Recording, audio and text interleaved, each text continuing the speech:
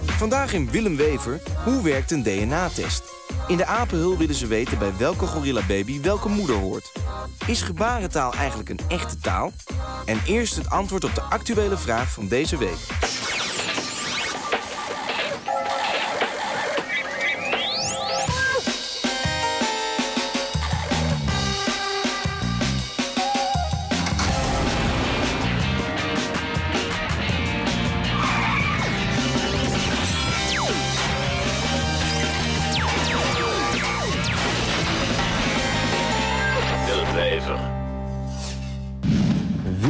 Wever zit weer bovenop het nieuws. En Mick, wat gaan we doen vandaag?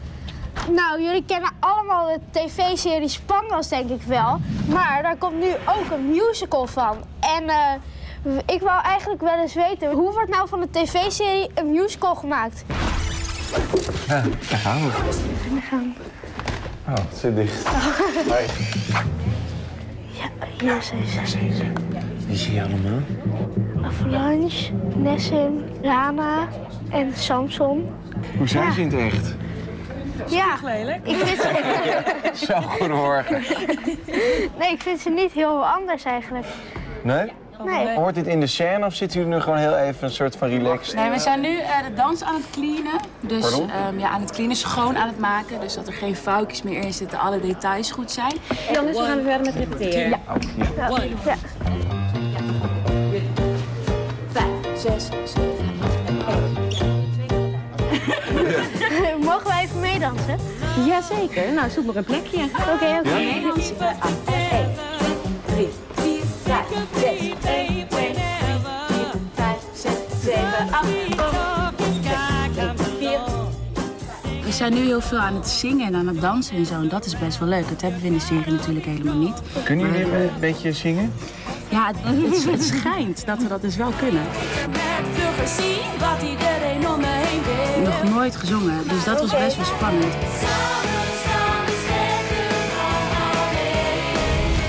5, 4, 3, 2, 1. Hoi, we zitten hier naast Anja Koek en zij schrijft eh, de verhalen van Spangles. Scenario schrijfster heet dat toch met die chic woord? Ja. Maar waar gaat het verhaal nou precies over? Het is eh, zo dat het Spangalis College doet mee aan een eh, wedstrijd, een musicalwedstrijd. En daarmee kunnen, kunnen eh, twee leerlingen een kaartje winnen naar New York, naar Broadway. New York. Zie je het voor Ja, oké. Daar ontstaat natuurlijk ook een onderlinge strijd onder de leerlingen, omdat ze allemaal die- dat willen winnen. hey, Samson. Ja, we gaan wel samen naar New York, hè? Ah, nee, natuurlijk. Nee, nee, nee. Wij gaan samen naar New York. Anja, wat is nou het verschil tussen schrijven voor theater of voor film? Theater, dat is echt anderhalf uur, net zoals bij een film. Dus je moet een verhaal vertellen wat begint en eindigt. Anders gaat het publiek ontevreden de zaal uit. En de, de, de tv-serie, dat is eigenlijk, eh, dat is nu al een jaar of vier aan de gang, Spanga's. Ja. Dus een soort super vervolgverhaal. We hebben wat fragmentjes. Wat ga je ons laten zien? Ik weet niet welk scènetje dit... Ja, dat is dit. Ja, ik zie hoe die camera daar bovenop zit. Ik wil helemaal niet dat je gaat.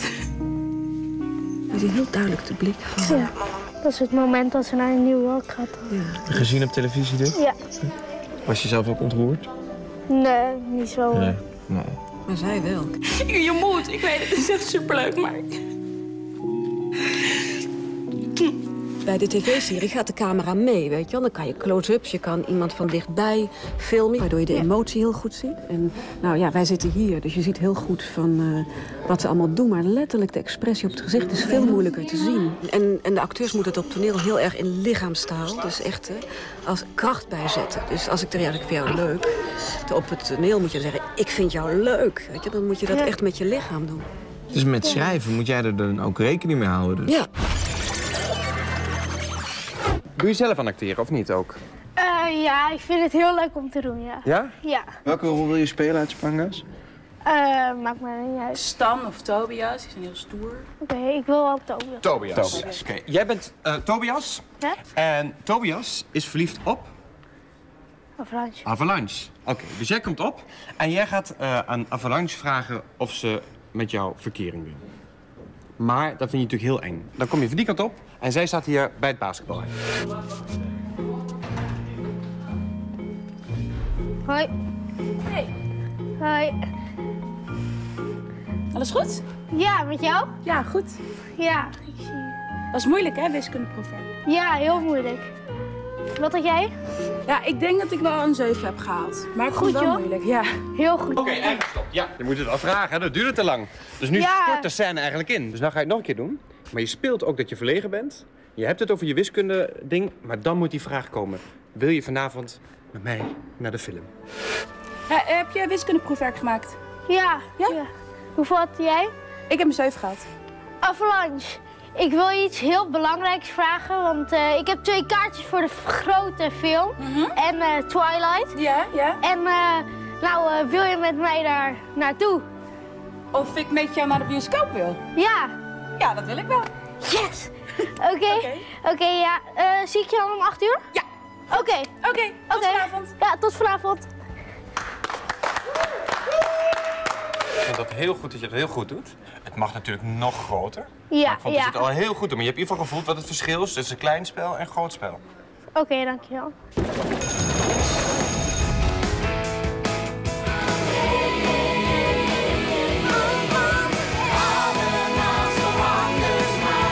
Je ze goed? Tan, tan, tan, tan, tan. Tan, tan, tan, tan, nieuws. Oké, oké, oké, please, stop, stop. Dit komt niet uit de Phantom. Niet? Nee. Denk je dat ze nou anders spelen nu het zo op het toneel is? Ja, veel overdrevener en zo. Veel groter.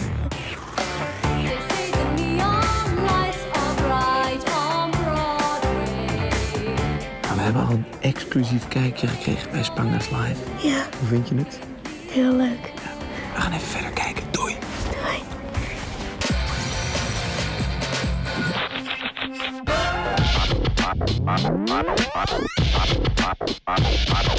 Normaal lopen hier in de apenhul allemaal apen. Maar daar is het een beetje koud voor. Dus de enige aap die er nu loopt, die staat hier naast me. En dat is Toto. Vertel eens, wat is je vraag? Eh, mijn vraag is, hoe werkt een DNA-test precies? En wat is DNA? Waar de cellen uit zijn opgebouwd en die bepalen hoe je eruit ziet en wat je oogkleur is. En wat zou DNA dan te maken kunnen hebben met apen? Dat wij misschien afstammen van de apen. Maar we zijn hier bij de gorilla's eh, binnen. En wat dit met DNA te maken heeft, is dat wij een DNA-test gedaan willen hebben. Want in ons geval weten wij niet wie de moeder van een aap is. Om welke aap gaat het? Het gaat om Mapassa. Mapassa natuurlijk. Mapassa die loopt hier. Kijk Toto.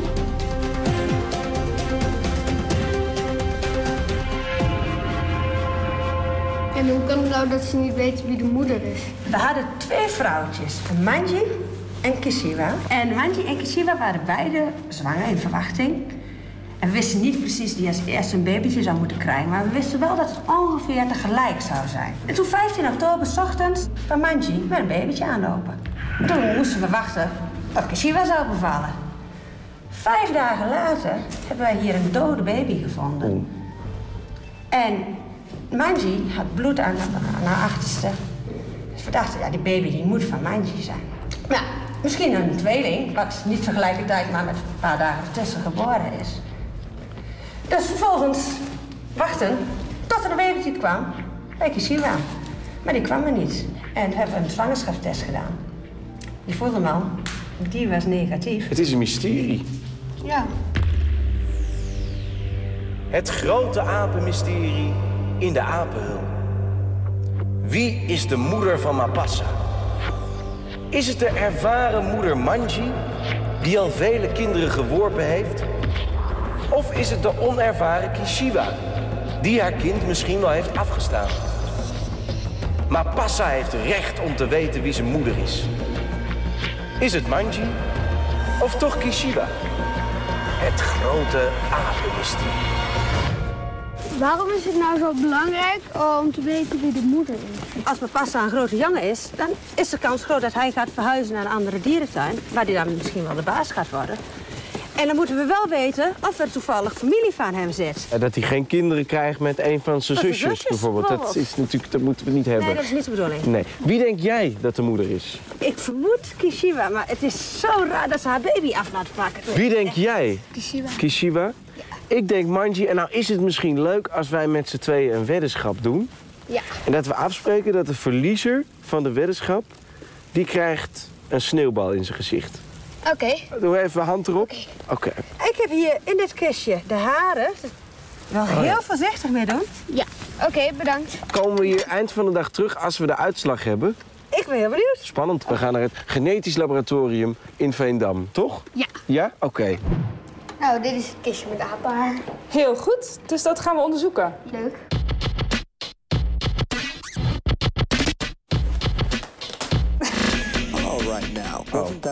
We gaan eh, de haren in een buisje doen. Hier zie je de haren van Mampasa. En we hebben natuurlijk twee moeders. En die moeten we natuurlijk er ook in gaan doen. Ja, heel goed. Die haren zijn onbuigbaar. Wat we moeten doen is dat ze opgelost gaan worden. Oké. Om het DNA eruit te halen. Ja, heel goed. Daar gaan je haren.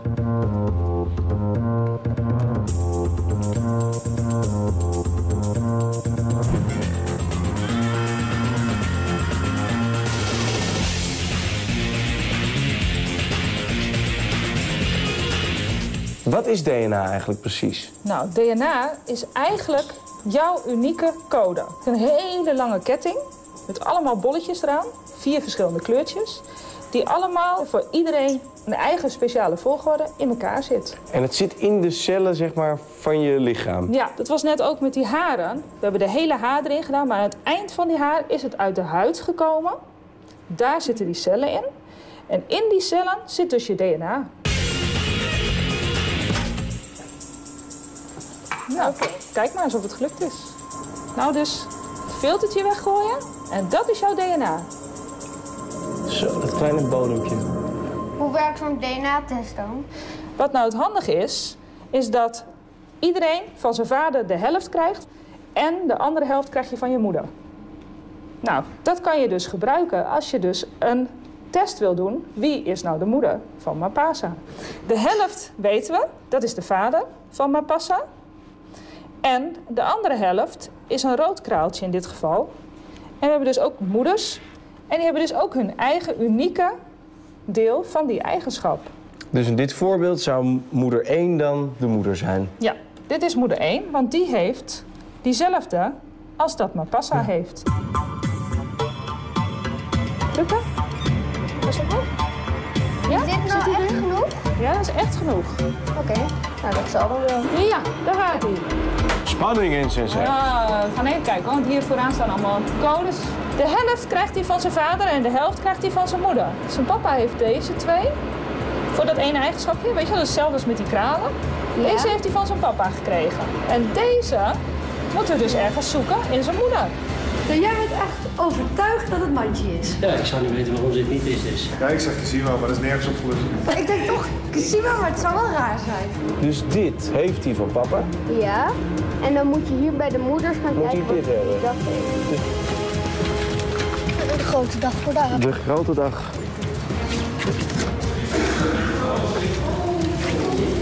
Ja, dames en heren van de Apel. Wij hebben hier in deze envelop de uitslag. En er hangt nogal veel vanaf van die uitslag, ook voor ons. Want Ja. Want eh, we hebben een weddenschap afgesloten en degene die verliest, die krijgt een sneeuwbal in zijn gezicht en daarna ehm, krijgt hij hem nog in zijn nek. En dan mag Ja. hij er niet uithalen totdat hij gesmolten is. ja, Toto, voor jou het grote moment. Maak de envelop open.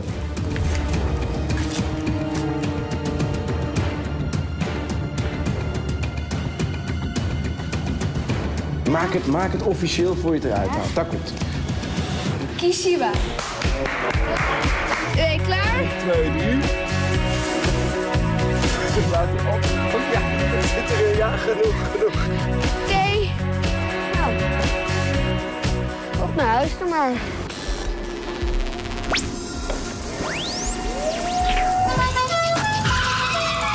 We zijn vandaag bij Basisschool de Regenboog in Utrecht. Op zoek naar de klas van meester Henk. Meester Henk. Die staat. Bent u meester Henk? Meester Henk. Willem even van u over. Ach, Jezus. Wat gaan we doen, Amito? Nou, wij gaan vandaag een proefje doen met eh, eten en drinken. Want al het eten en drinken dat heeft een bepaalde kleur. En dat is ofwel een natuurlijke kleur, ofwel een kunstmatige kleur. Wie wil ja, dan doe jij gewoon lekker gezond. Aardbeien. Stoppen, Mariemon! En wat proef je? Aardbei. Aardbei. Spek. Nou, de vraag van vandaag is van waarom zitten er kleurstoffen in eten en drinken? Kom maar even zitten, Joey.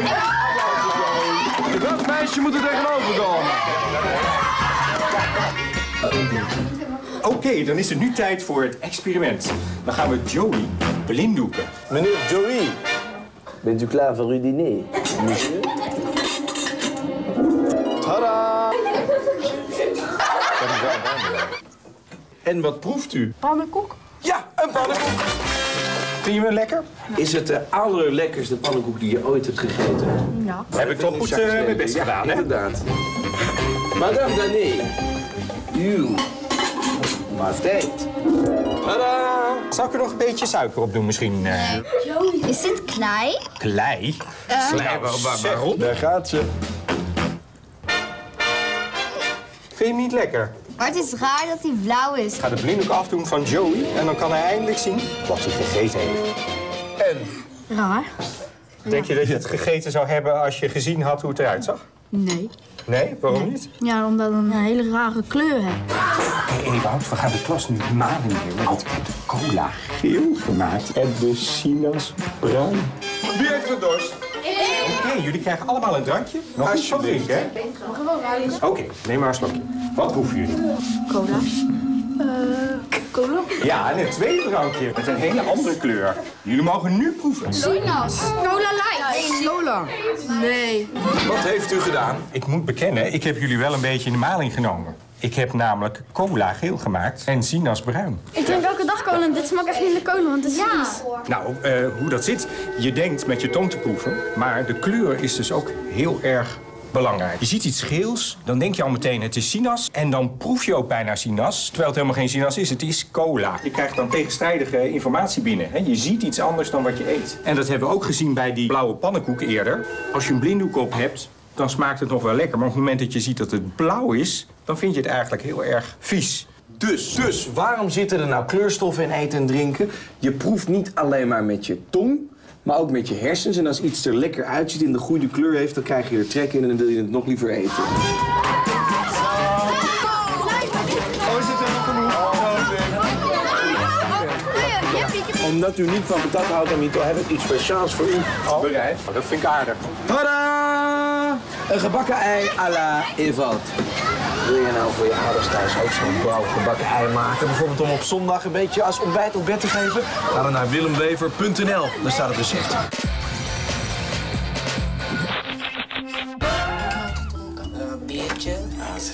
Goedemorgen. Misschien drink ik veel, maar dan merk ik niet echt. Dag. Hoi. Ewald. Dag, ik ben Arie. Hoi. Hallo. Kun je vertellen wat jullie aan het maken zijn hier? Wij maken onderwijsmateriaal toegankelijk voor dove kinderen. Als je een filmpje hebt waar iemand gewoon praat, dan kunnen dove kinderen niet volgen. Dan zetten we er of ondertitels onder, of we zetten er een gebarentaaltolk in. En over gebarentaal, daar gaan wij het vandaag over hebben. Want wat is je vraag? Is gebarentaal een echte taal? Ah, oké. Ja. We zien daar een studio, misschien dat we er even naartoe kunnen lopen. Kan het licht aan? Ja, dankjewel. Maar dit is dan zo'n studio zoals je bijvoorbeeld ook bij het Jeugdjournaal ziet. Ja. Weet je wel? Dan zie je Met zo'n dove tolk ernaast. Waarom heb je tegen me gelogen? Ik? Tegen jou gelogen? Had ik maar iemand om van te houden. Auw! Auw roepen. Auw! Auw! Auw! Waarom moet het zo overdreven? Nou, het is niet overdreven. Alles wat, alles wat wij zeggen, daar zit, zit geluid in. Hè? Dan zeg jij zegt van, waarom moet dat zo overdreven, zeg jij. Met die, die, die, die Ja. toonhoogte. Jij zegt niet van, waarom moet dat zo overdreven? Maar je zegt, waarom moet dat zo overdreven? Dus mijn gezicht is meteen al anders. Omdat dat informatie geeft over de manier waarop je iets zegt. Lijkt me nou leuk als we dat bij Willem Wever ook even doen. Een beetje in het thema van de gebarentaal. Dus dan kijken we even allemaal naar die kant, naar links. En knip even in je vingers, Anke. Hartstikke. Nou, hartstikke leuk. Alles wat wij nu op dit moment zeggen, dat wordt vertaald. Dus nou ja, doe maar een zin. Eh, hallo, Wij gaan vandaag Willem Wever doen over gebarentaal. Ja, nou precies. En iedereen ziet dat hier nu in gebarentaal ook gebeuren. Hartstikke goed. Dankjewel. Kunnen dan ook alle kinderen van alle leeftijden al meteen gebarentaal leren? Oh, hoe oud was je toen je Nederlands leerde? Ik denk dat ik twee of zo was. Vanaf de eerste dag dat je vader en moeder tegen je praten, hoor jij al Nederlands. En langzamerhand leer je woordjes, zeg je papa. En langzamerhand leer je zo het Nederlands. Zo leren dove kinderen gebarentaal ook. En namen bijvoorbeeld? Als je, dat lijkt me lastig ook. Ja, ja. namen eh, worden gespeld. Jij heet Anke. Ja. Dus dan zou ik alle letters zeggen Anke. Maar de meeste mensen die met doven omgaan, die hebben ook een naamgebaar. Mijn naam, ik, ik heet Ari, Ari Teresa. Ja. Dit is mijn naamgebaar, Ari. Ik heb een beetje een scheve mond, eigenlijk heel zielig. En meestal heeft het te maken, ehm, je, je leert mensen kennen en dan is er iets specifieks wat typisch bij jou past. Wat is typisch Anke? Ik speel dwarsfluit. Ja. Eh, ik zit op majoretten. Ja. Ik hou heel erg van dansen. Zou dit dan kunnen zijn bijvoorbeeld? Doe maar even een gooi, daar komt hij. Nou moet je je voorstellen, dan kom jij hier binnen en dan stel jij je aan mij voor. Ik ben doof. dan zeg je, ik ben Anke. Dat is niet heel praktisch. En dat, dus dit zou wel kunnen. Ja. Anke. En wat zou ik dan kunnen zijn? Ik, ik zou iets met je krul doen. Ja? Ewoud, zoiets. Ewoud. Zo. Ewoud. Ewoud. Bestaat er nou eigenlijk ook een school waar je deze gebarentaal kan leren? Dove kinderen leren gebarentaal zoals jij Nederlands hebt geleerd. Dus zij gaan naar een school om aardrijkskunde te krijgen in gebarentaal. En ze hebben een vak taal. Gebarentaal. Welke les hebben we straks nou? Van, je, van Joep, MGT-les, gebarentaal. Hoe, hoe zie je nou dat de les begint? Daar, die lamp. Oh, daar. Ja.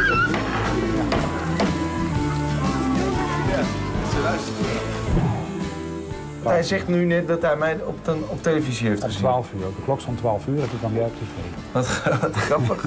Vandaag hebben we bezoek. Oh, moeten we naar voren komen? Oh, dat is makkelijker. Zo. Wie ben jij? Anke. Ah, je moet gebaar. Oh ja. Waarom is dit Anke? Omdat ik zelf speel. Ik speel dwarsfluit. Dat is zelf. De dwarsfluit. Dwarsfluit speelt.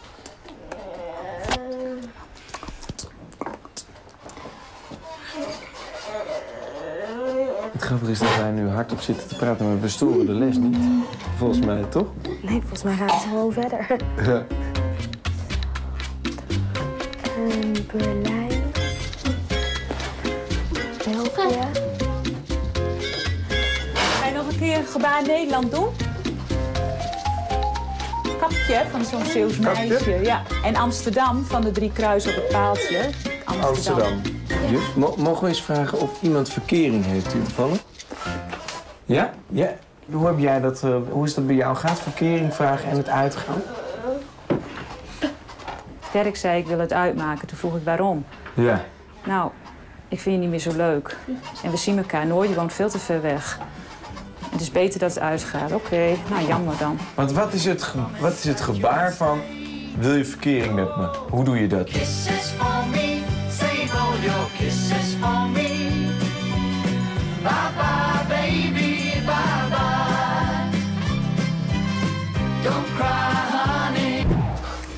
Een opdracht geven. Je zit op een fiets. Op een fiets die gebaar je dan trouwens zo. Hè, als een fiets zich voortbeweegt. Hoe je als hij snel fietst? Boem. Wat wordt er nou precies gedaan in deze les? Hoe je in gebarentaal dingen zegt. Dus je leert ook woorden. Maar ook hoe je ze gebruikt in de structuur van de taal. Anke, probeer. Fietsen is heel snel. En weer Ewout, over een hobbelige weg fietsen. Hoe doe je dat dan? Zie, zie je dat hij doet? Is het fout? Waarom is het fout? Ja, hij heeft zijn hand verkeerd. Een fiets die ligt er nog op de weg. Oh, nee. Zo, en dan? Oké, een auto over een hobbelige weg. Is het nou een taal? Volgens mij wel. Ja, toch, wat maakt het een taal? Een taal wordt gebruikt door mensen. Wordt dit gebruikt door mensen? Ja, door mensen. Een taal heeft woorden, begrippen, lexicon. Heeft dit woorden, begrippen? Ja. Een taal heeft een eigen structuur. Wij praten Nederlands in een bepaalde volgorde. Hier leren ze hoe het in gebarentaal zit. En ze leren ook een bepaalde volgorde. En, de grammatica van gebarentaal is anders. Dus als je al die dingen optelt, kun je gerust zeggen, ja, dit is gewoon een taal. Dus nog één keer, wat maakt gebarentaal een taal? Nou, eh, het wordt gebruikt door mensen. Ja. Eh, er zitten begrippen en eh, woorden in. Ja. En er zit grammatica in. Ja, en structuur dus, zeg maar. Nou, laten we nog even een klein bedankje doen hier aan de linkerzijde. Dank u wel. En tot de volgende keer. Misschien zouden ze vaker dat moeten doen bij Willem Wever, Ja, toch? dat is handig. Ja.